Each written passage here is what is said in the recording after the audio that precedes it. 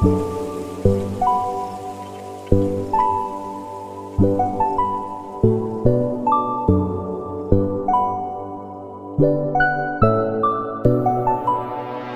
přátelé, vítejte u dalšího videa.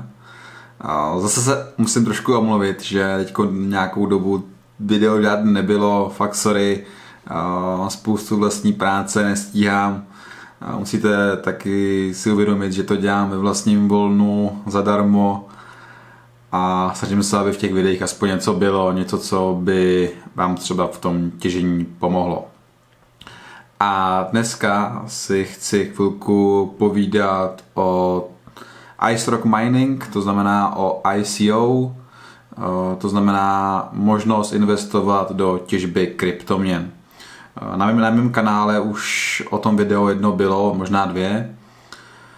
A dokonce jsem tam dával referál, to znamená odkaz eh, na tu službu.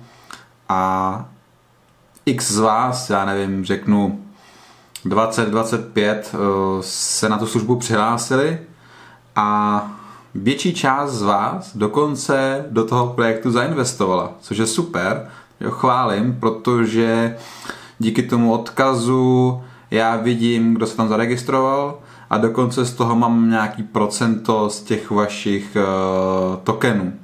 Takže děkuju. Uh, když samozřejmě to není nějak moc, nebo je to fakt takový zrnko, než je tam poslal já tolik peněz, tak uh, fakt děkuju, moc si to vážím a doufám, že to všechno vyjde jak pro mě, tak pro vás. Uh, to je důležitý.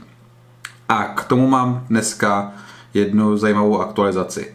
Uh, do dneška se ještě úplně nevědělo, který minery tomu chtějí použít.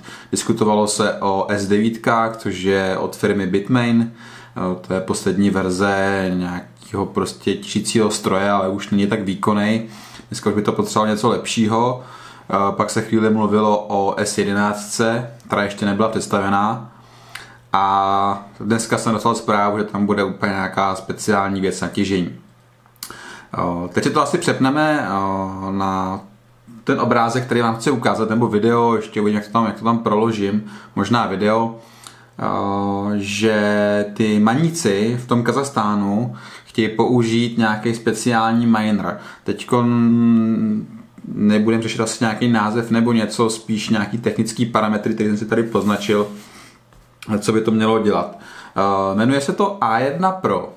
Je to vodou chlazený eh, miner, takovýhle nějaký stroj, uh, který, který, mám tady poznačeno, má výkon jako 740 S9, jo.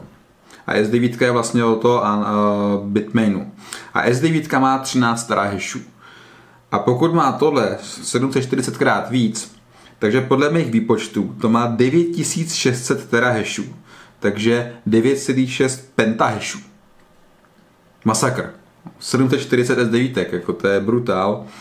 Spotřeba tady je uvedená nějakých 100 kWh a o, to znamená, že tím ušetří mraky místa v té v té díře, tam, kde to budou těžit a uh, natěží se teda mnohem víc.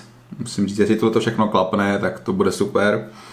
Uh, předpokládaný nějaká uh, výtěžnost toho projektu, to znamená ROI, byla 400%. Teď uvádí, že by se dokonce mohla díky tomu výkonu zvednout na 600 až 700. Jo, takže ty prognózy, které tam byly, by měly být ve finále ještě lepší. Což je super. Jo, takže pro všechny, kteří tam zainvestovali, uh, doufám, že to rozjedou, že to všechno bude klapat a, a že to bude něco generovat. Jo, I kdyby se mělo vrátit jenom to, co jsem tam poslal, tak by to bylo super, ale věřím, že to bude, že to bude dobrý. Uh, takže všichni ti, co tam peníze máte, máte tam nějaký tokeny nakoupený, máte na vlastní peněžence, tak tohle je dobrá zpráva. Jo. No, to tady v tom videu asi všechno. Uh, chystám nějaký další, ale toto jsem chtěl zařadit všem, tady tam ty peníze mají, aby se třeba nějakým sem ne, nebáli, ale aby měli z toho větší radost, že tam nějaký progres je a že ty kluci v tom Kazachstánu se fakt snaží a něco pro to dělají. Mějte se fajn a čau u dalšího videa.